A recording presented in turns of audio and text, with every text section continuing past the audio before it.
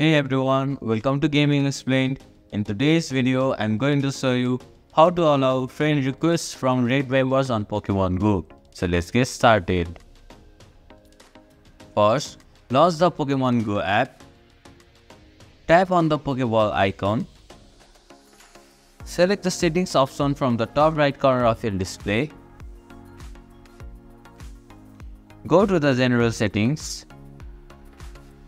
Now, locate the allow friend request from raid members option in the friends section and tap on the toggle switch right next to it to turn it on.